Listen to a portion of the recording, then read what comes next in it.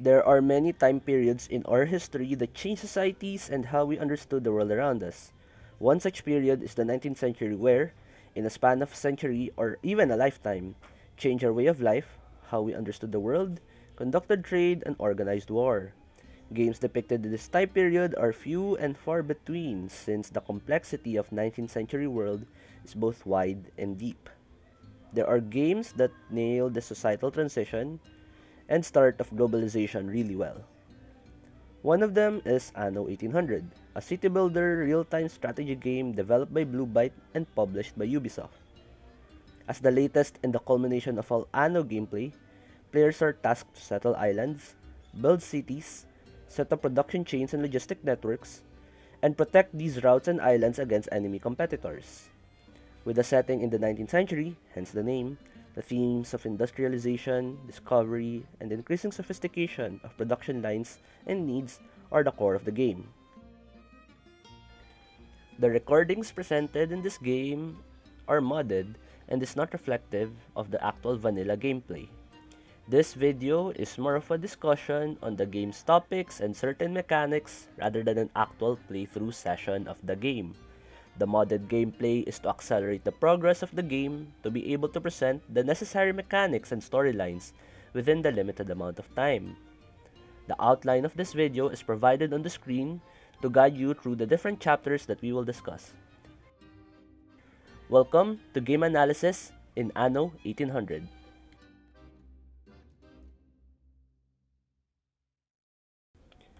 Being a city builder game, you are tasked to create cities and providing your residents with their needs, both in public service buildings and goods. You start out with simple production chains and needs from your farmers. Upon settling down workers, you will get more complex needs and production lines. In the old world, the highest tier residences investors has complex needs with factories having different production times that you can optimize to have a perfect production ratio but will continually need a lot of resources to maintain. This is your main concern, maintaining a factory-based economy while sustaining your citizens' needs. Certain islands only have certain number of fertilities and mining areas, and you will be forced to settle another island. This is where the colonial trade and logistic networks fall in. You have to use ships and trade routes to transport goods from one port to another. These islands will need people that you have to provide goods to provide you with manpower to work on the island's factories, mines, quarries, farms, and fields. From these mechanics, you can have different strategies. Will you transport goods from your main island to those islands for your population? Will you build your own small village with small production chain for your citizens' needs before building your new farms and factories? Or will you use a commuter pier that is convenient and expensive to share the island's manpower? All of these considerations for you as a player to choose. In terms of difficulty, you can customize it to your own liking.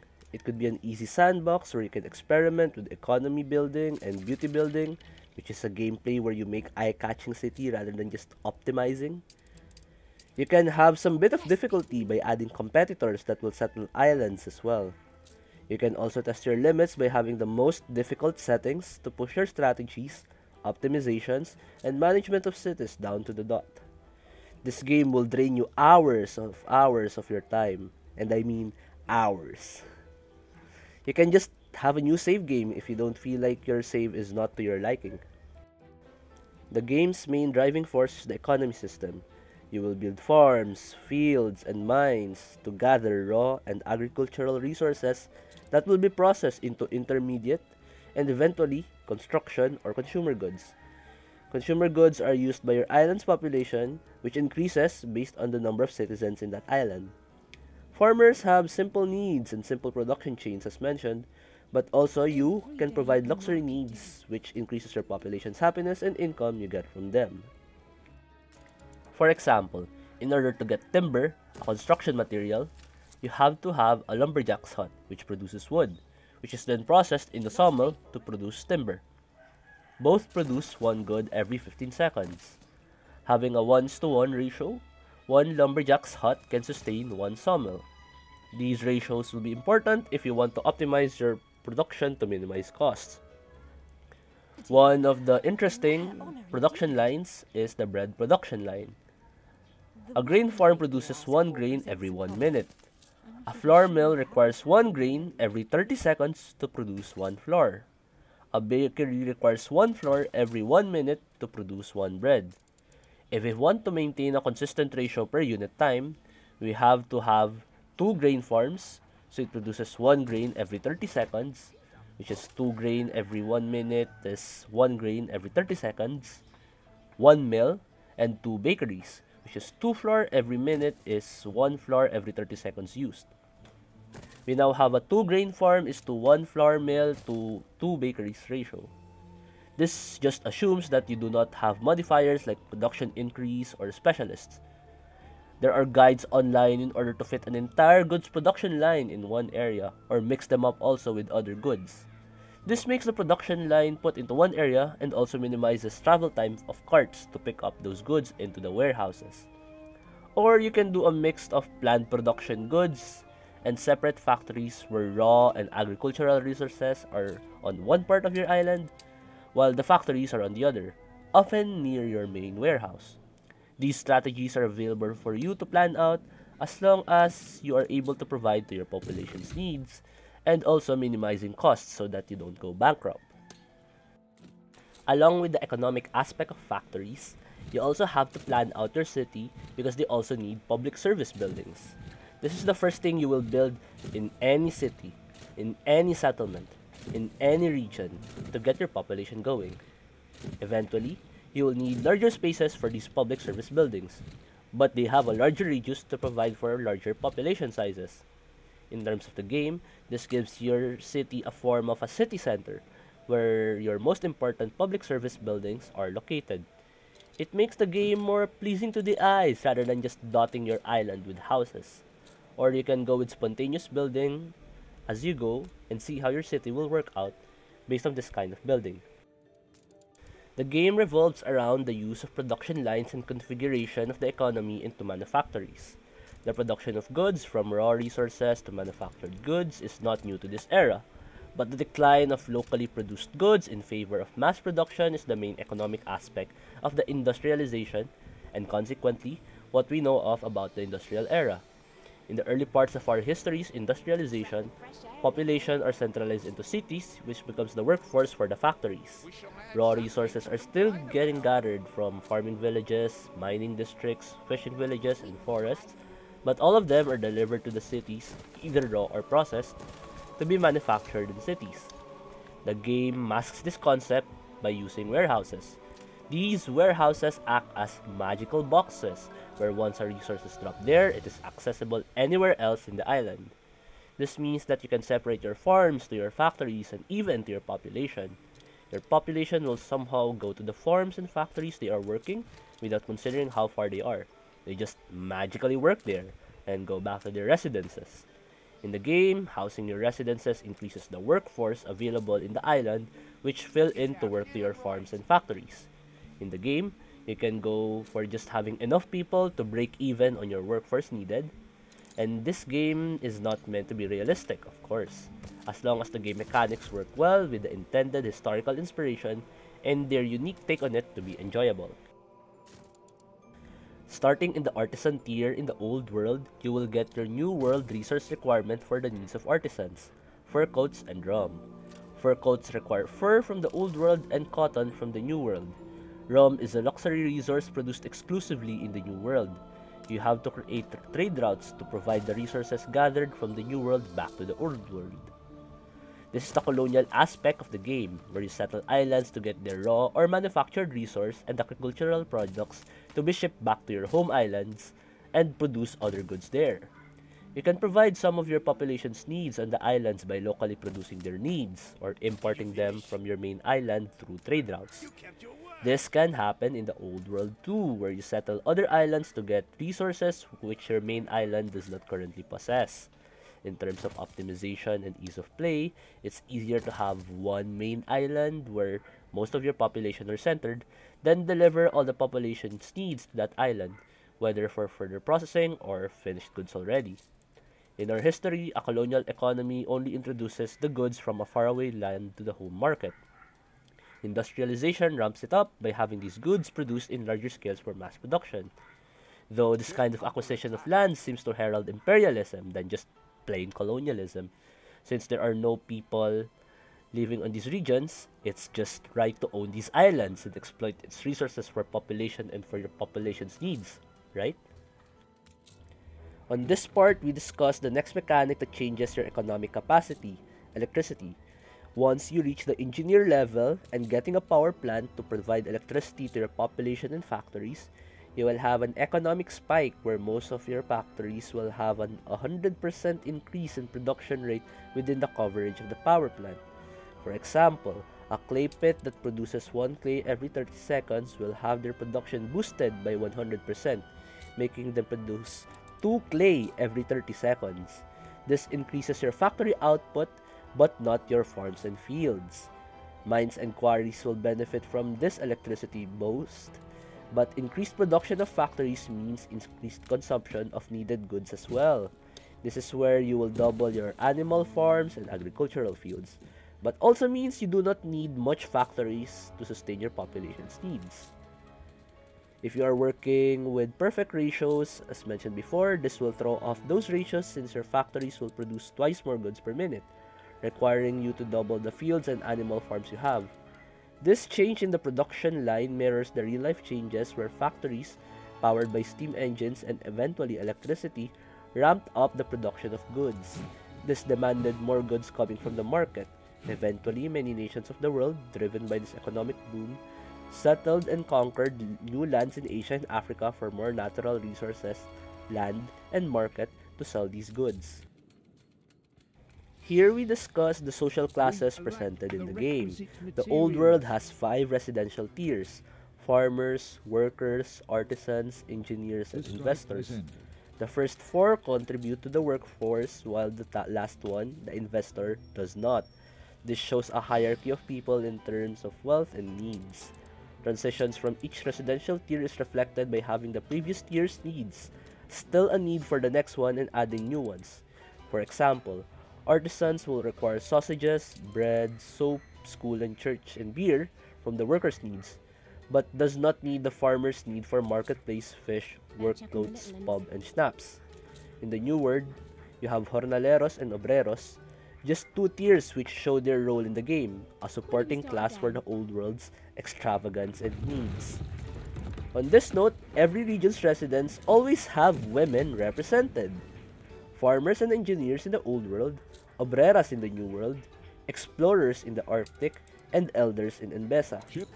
The game does not hide the fact that women had an important role in this time period.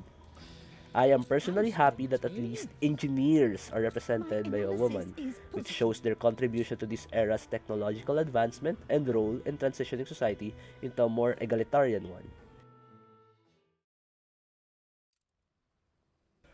When you just started playing Anno 1800, it is recommended that you play the campaign first with more guidance to familiarize yourself with the game. It is a tutorial campaign that get your hands on how to build up your settlements. Being a campaign, it has a story that you'll follow to progress. You start off with a dialogue with your companion Arhant about a letter from your sister. You pay your passage to the old world via dynamite fishing, which teaches you the basic of combats and usables. You will be taught how to use your ship and what things you can do with it. This is helpful for your future quest and a foundation for completing quests and tasks in the campaign and in your sandbox gameplay. As you travel from the new world back to the old world to help your sister, trying to resolve the issue with your father being accused of treason, you are introduced to Bright Sands, your father's former city, now claimed by your uncle Edward. With the last of your sister's funds, Hannah Good, you acquire Ditchwater, an island near Bright Sands to build and try to clear your father's name. You build up your first village, clearing debris, and housing your farmers. You get introduced to building factories, farms, and production lines to provide to your farmers and expanding your small settlement. I am so relieved I would like to point out, in terms of story and world building, that you are establishing a new company, and it seems that establishing one is surprisingly easy. Have fundings to settle islands and house people, have ships to transport goods, and pay royal taxes to the Empire. This is never thoroughly explained in the game as to how free companies like Good and Sons get established, but such is your role in the game. The culture that you are in has deep naval traditions, that having shipyards and lots of ships is a testament to your company's prestige and wealth. Trying to find out your father's death and the truth about the sale of prosperity lands you to go to the new world. After resolving each cases, helping Isabel Sarmiento, you go back to the old world to confront your uncle Edward who was in charge of the sale for the prosperity, not your father's. Eventually, Pyrphorians will came who bring their ships to attack your harbor. Your NPC ships will also defend your harbor. And once you destroyed all the ships and their battle cruiser, the battle will be over, and the campaign marks its end. You give your father a proper burial, and the queen cleared his name. Paying his respects to your late father, the world is now safe. You are awarded the scorched bright sands back. Everyone is happy that the Pyrphorians are gone, and you continue your journey as one of the leaders of Good and Sons, with now the queen recognizing your efforts to protect the empire. There are two DLCs that I want to tackle that discusses the old world's increasing demands and complex systems, Tourist Season and The High Life. These two DLCs are what I will say as the needlessly extravagant depictions of tourism, extravagance, and wealth of your settlement. These DLCs append to your existing gameplay by adding new buildings and production lines, two new mechanics introduced to you, public production buildings, and multi-factories you will now have public service buildings that require resources for them to provide to their citizens instead of providing them head on by just placing them on your city. This means that you will have a mix of warehouse buildings with your cities, if you're a kind of player who separates your farms, fields, and factories from the main population hub. This increases the complexity of your city since you have to put these new public service buildings either around your city or in a city center to minimize maintenance costs. Multi-factories allow you to customize the recipes produced by these buildings depending on your needs. This flexibility allows you to change production for a while when you need a certain good in surplus without building a new factory building for that good. Let us start with tourist season. After attracting 500 engineers, which the settlement is considered as a capital, in any of the old world settlement, a tourist NPC will introduce herself. She is Emma, a holiday maker if you will. You are given a prompt whether to accept the tutorial on the tourism mechanics of the game. Your public mooring can now be upgraded to a tourist mooring, which is the starting point for all things tourists. You will be introduced to a new residential type with their assortment of needs. However, tourist spots require to be in a radius of a bus station, and these stations have radius on how far they will connect to the other bus stations. With the tourist mooring at the start, bus networks are connected together in the city, connecting variety theaters, restaurants, bars, cafes, museums, and other hotspots. The hotel is where your tourist residents will stay, and it has a huge capacity, and I mean huge. From here, you provide their goods automatically taken from the island storage, just like any other residences and public service needs must be within the radius of a bus station instead of near them directly. A new public service building that takes in goods to provide their needs, food and drink venues, will be introduced to you.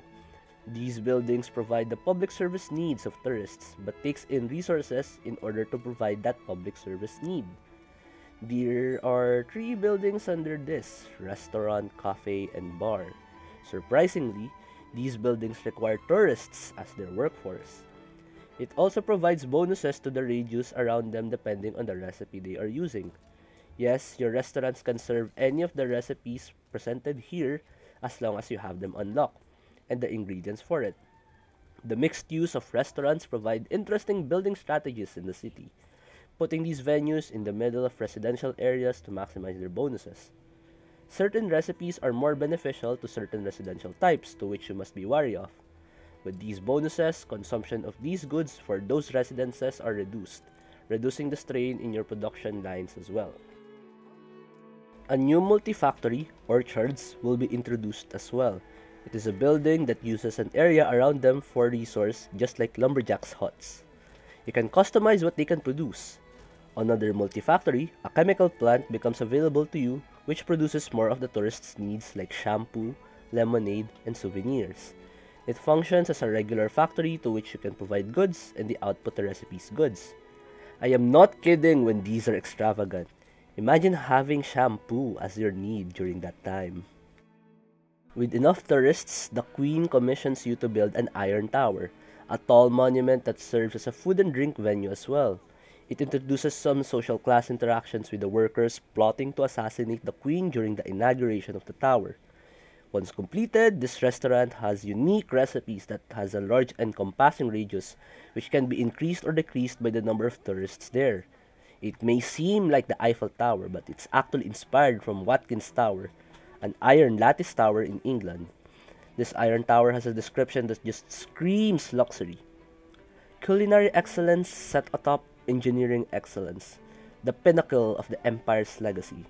Table reservation run months long, and dishes comprise some of the most exotic ingredients known to humankind. This new system increases the complexity of your economy with new needs and production lines, requiring new inputs and outputs for your tourist needs. What does tourists give you? Money. Boatloads of money. Money that you will not know where to spend. Tourists are literal walking gold that, though the resources needed to satisfy them can be expensive at first, the returns are enormous. An interesting thing about Emma the tourist, she is down bad. I mean, she fancies herself with the chef that she encountered on the cruise ship. In her words, I'll confess, I fantasized a chance meeting in the dancing hall once or twice, but in vain, alas. I mean, it's already in her personality to explore the world. It does not hurt to have romance to spice it up. A part of me speaks that there's a notion in tourism where you find your soon-to-be partner in these distant lands on a chance encounter as a tourist. A case of romanticism that is also prevalent during that time, I must say. Now, on to the next DLC, the High Life. Remember when I said that investors are the highest residential tier in the old world? Upon reaching 5,000 investors, a businessman introduces himself to you about redefining the skyline. Donald Bader asks you to build skyscrapers and their amenities in your city, prompting you to the tutorial on building cities with skyscrapers in them. Investors are still the highest residential tier, but you can now upgrade these residences along with the engineer residences to be skyscrapers. Similar to the tourist season, you're introduced to new buildings, shopping arcades, assembly lines, and artisan workshops, along with other needs as well. Engineers can have a maximum of 3 levels, while investors have a maximum of 5, each level introducing a new need or 2. Shopping arcades have 3 different buildings, unlocked at investors level 1, 3, and 5 respectively. Department store, furniture store, and drug store. They require artisans as their workforce. They are a mixed production and public service building like the food and drink venues in the tourist season in terms of mechanics and behavior. Now it caters to skyscraper needs. However, they only need to be within the street range of the residences instead of bus stations. They do provide bonuses in their radius though, reducing consumption of certain goods given certain patents. Your first department store patent, toasters, reduces jewelry consumption by 10% and light bulbs by 15%. This can greatly ease down your production lines if it's strained already. Assembly lines function like chemical plants, only more factory-like. Your first assembly line is the elevator patent which will be your new construction material that will be the basis for your skyscraper buildings and upgrades. Now you have six construction materials to work with in the old world. Timber, bricks, steel beams, glass windows, reinforced concrete, and elevators. This can allude to what the modern cities are made of before the advent of plastics and other synthetic materials we use for our residences now.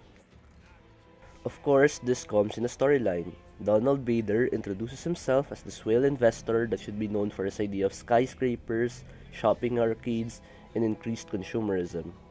As you progress, you will encounter a new figure, Theodora, being called Miss Jenny by Donnie, an engineer with different roles under Donnie. There is a tone of resentment at Theodora's dialogues whenever there is an interaction between her and Donnie. Going through the quests, Donnie receives warning messages and tarot cards, and some small sabotage happenings in his company. He treated it as a minor nuisance but eventually asks you to tail Theodora due to a discrepancy in finances on the sales of toothpaste in the drugstores.